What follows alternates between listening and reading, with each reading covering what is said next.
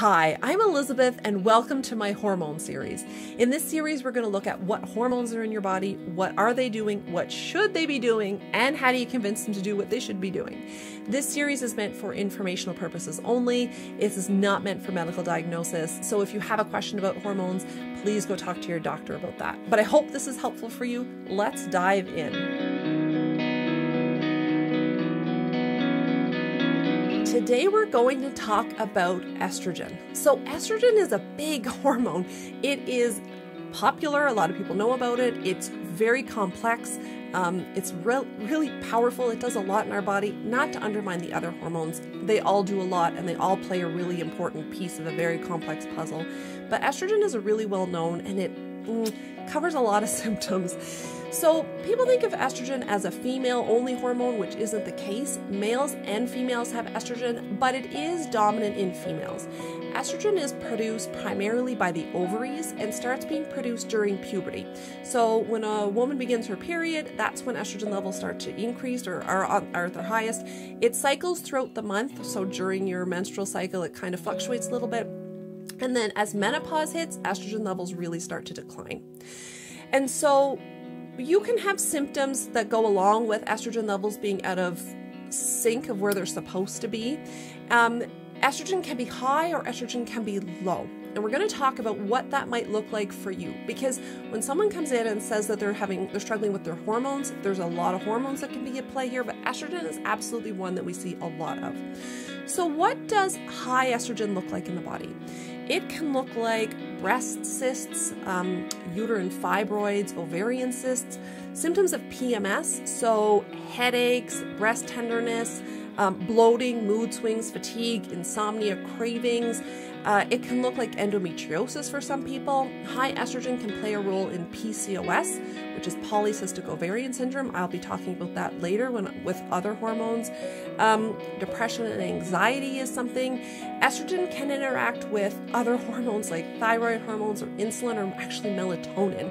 So estrogen can cause all sorts of things that we don't even tie really directly to estrogen, like breast cysts, for example, estrogen can be a sneaky little hormone and it can be hard to figure out what levels, what it looks like, sorry, when you're, if levels are high. Um, but one of the more important things to know about high estrogen is that there are cancers in the body that are estrogen dependent. So, certain types of breast cancer, uterine cancer, ovarian cancer can be estrogen dependent, and high levels of estrogen can increase your risk of some of those cancers. So, keeping your estrogen levels in check is actually really important for just daily function and feeling good, but also overall health. Now, low estrogen, on the other hand, can look like a number of things. So, it can look like infertility, um, amenorrhea, or the, you know, not having any more menstrual cycles, um, osteoporosis. I'm going to talk a little bit about that later, and symptoms of menopause. So, hot flashes, sleep challenges, dryness, like vaginal dryness or eye dryness is a thing. Um, that can be occurring with menopause if that's kind of the where you're at in your cycle but if those symptoms are popping up a little bit earlier than they normally would definitely talk to your doctor and have them check your estrogen levels for you now that is something i just want to harp on a little bit here is that it's pretty easy to say, oh, I get PMS symptoms all the time. I must have high estrogen levels.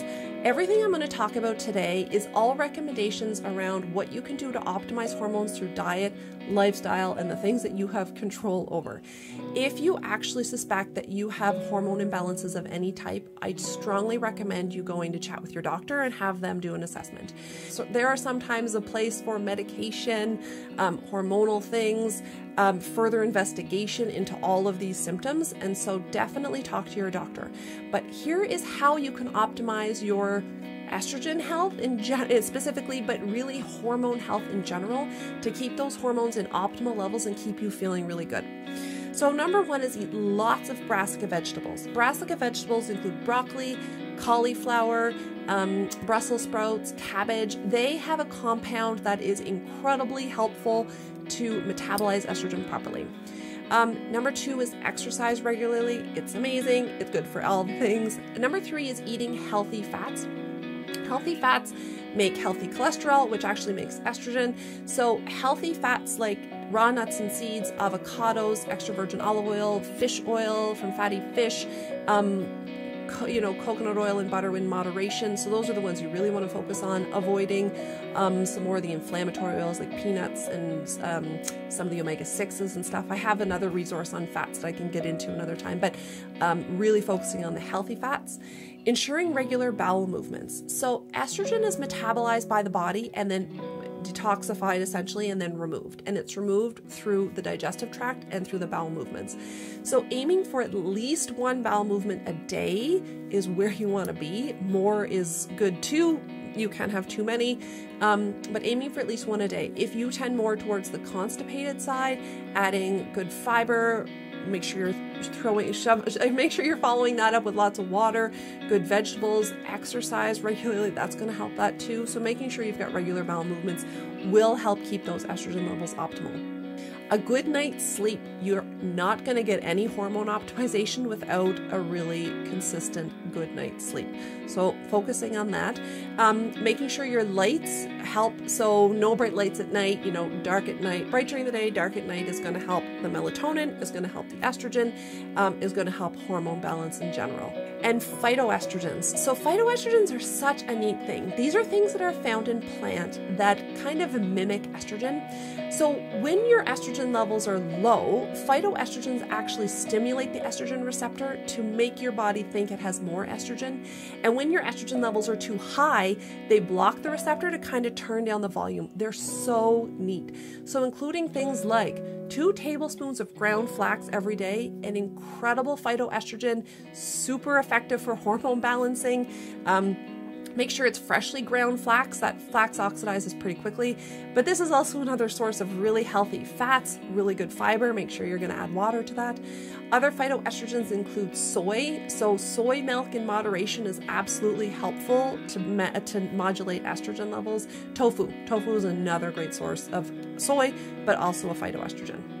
So I mentioned that estrogen gets detoxified by the body, and that's how it gets processed. There's actually three different types of estrogen. The body needs to kind of move it out, move it through, keep it going. It's it's all part of a cycle, and it's the liver that does that. And so making sure your, your liver's job is to detoxify. It's to clean out everything and it does a really good job at that. There are cases where it won't.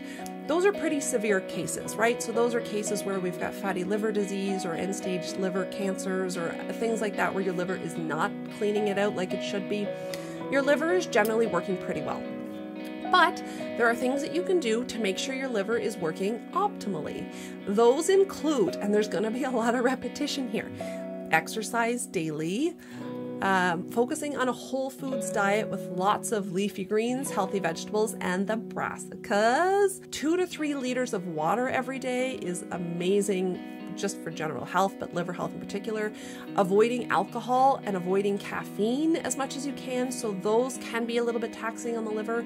Um, medications in general um, can be, uh, not to say don't take medications, but everything that we put into our body needs to be detoxified by the liver. So, the less that we can put into it, the better the liver is going to be able to work. But I say that knowing that we need to take medications sometimes, and that's okay. Uh, fish oil can really help with liver function. Um, a good multi B vitamin. So, I'm not really going to get into the specifics on supplements like I mentioned. I'm going to leave that to a healthcare practitioner. But a, a B vitamin, a multi B vitamin, I don't mind recommending. So, B vitamins are water soluble. If you take them in excess, you will eliminate them, and they can be really helpful for a bunch of different things. So, a multi B vitamin is something that I tend to um, safely recommend to many people. A good night's sleep is going to help your liver detoxification every day, so make sure that you're squeezing that in there too. Now, I can't talk about estrogens without talking about xenoestrogens, and this is why I have to be honest why estrogens are so prevalent these days. If you've never heard of the term xenoestrogen, it's X E N O estrogen. What it is, is it's an environmental thing that simulates estrogen in the body. So it's they come from man made chemicals. They're found in pesticides, plastics, um, pharmaceutical drugs, and most man made things like paint, fire retardants, PCBs have xenoestrogens in them. And so we ingest them one way or another, and they mimic estrogen in our body. And this is why a lot of women come in with symptoms of high estrogen. Even if their estrogen levels are you know, relatively normal or close to normal, xenoestrogens can make those symptoms appear very much aggravated. Xenoestrogens are a real problem. They're causing all sorts of hormonal imbalances, all sorts of challenges. And you hear people moving to organic foods and clean cleaning products, green cleaning products, and all of these things. And it's actually more important than most people recognize because the chemical level that we carry in our body is getting really high and it is throwing off our hormones. And so, how do you avoid xenoestrogens? Well, there's good news and bad news. Your body will continue to process the xenoestrogens. So, doing the things that I just recommended to keeping your endogenous hormones optimal, that's a good thing. Um, making sure your liver is functioning, making sure you're sleeping well, all of those are really important. But the extra steps that you can take to avoid xenoestrogens, so avoiding plastic as much as possible. One of the things I like to do to avoid plastic is to avoid it in around food if I can. So I store my food in glass containers as much as I can. I even freeze some food in glass. Um, I never might never microwave in plastic. I will microwave in glass or I'll put it on a plate. Um, I drink out of glass or stainless steel. I don't drink out of plastic water bottles if I can help it. There's always exceptions. But really making sure, because one of the things about xenoestrogens is that they leach whenever the plastic is at extreme temperatures. So if you're heating food or freezing food, xenoestrogens are more likely to leach into your food. So avoiding as many plastics as you can. Plastic is all around us. It's in everything we touch. It's in the pens that we hold. It's on the computer type, like the the keyboards that we're typing on. It's on our phones. It's everywhere. So limiting as much as you can, and for me, that's food is a big one for me to limit it with. That is going to avoid your exposure to xenoestrogens. A second way is avoiding what is known as BPA or bisphenol A. So you're going to see lots of plastics out there that will say BPA free. BPA is a substance that they put in plastics actually not that long ago to help keep the plastics nice and hard. Um, they contain xenoestrogens. Now, avoiding, I just in general try to avoid hard plastics as much as you can, but things like grocery store receipts have BPA in them, so avoiding that. Um, avoid pesticide exposure as much as you can. So when you're able to, choose organic foods. Wash your non-organic foods with with vinegar and water will help to kind of remove some of those pesticides, but avoiding them as much as possible and using really good skincare products. Everything you put in your body, your liver needs to get rid of. Same thing with what you put on your body. Your skin is your body's biggest organ. And so when you use certain soaps or creams or lotions or face washes or all of those things, you're going to be your that has to go through your liver.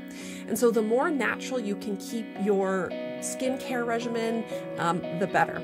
Now, I'm going to put a link in the video in the description to the Environmental Working Group's Skin Deep database. It's an incredible database that evaluates all sorts of different skincare products and how good they are for your skin, but more for your general health, including the you know the hormonal um, impact of them.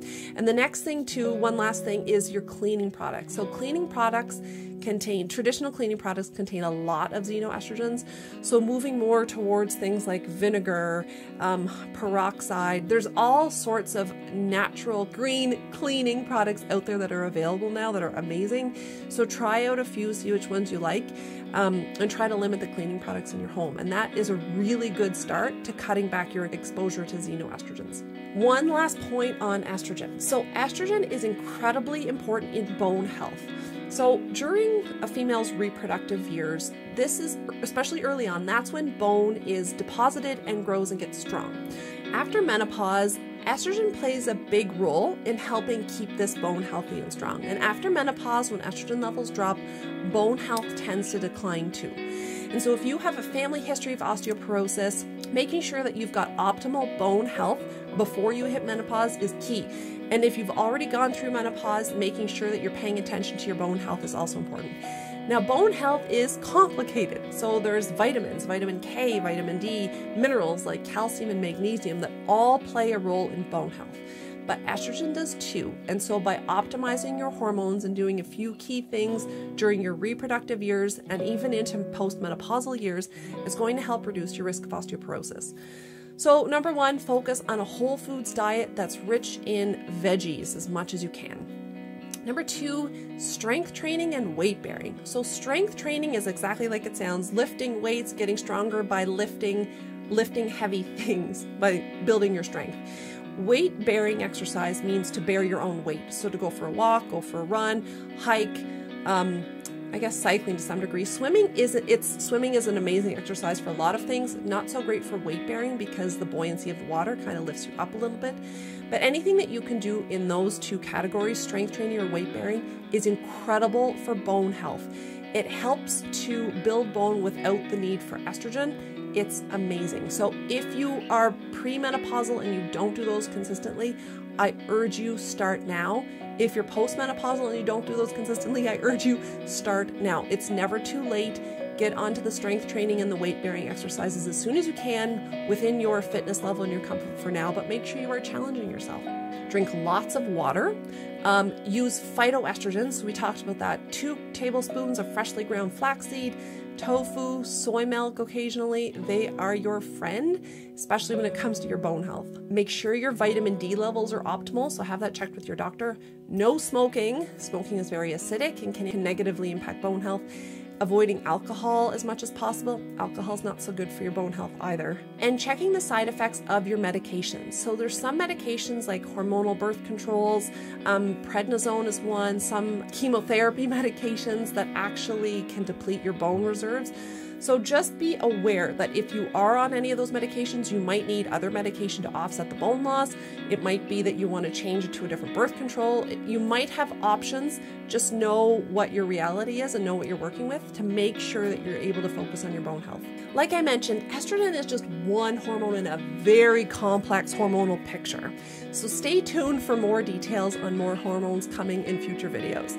But here's the thing to really optimize hormones in general. So, of all the things, sleep is key. Sleep is necessary for repair, regeneration, rest, restoration, all of those things.